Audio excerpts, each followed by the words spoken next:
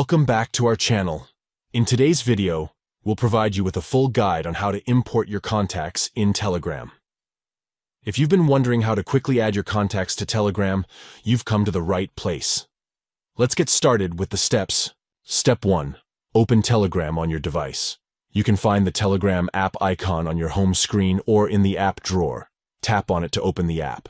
Step 2. Once you have Telegram open, look for the three stacked lines in the top left corner of the screen. Tap on these lines to access the menu. Step 3. In the menu, scroll down until you find Settings. Tap on this option to access Telegram's settings. Step 4. Within the settings, scroll down until you locate the app's version information. It is usually found near the bottom of the settings page. Step 5. Tap and hold on the app's version information. After a moment, tap and hold on it again.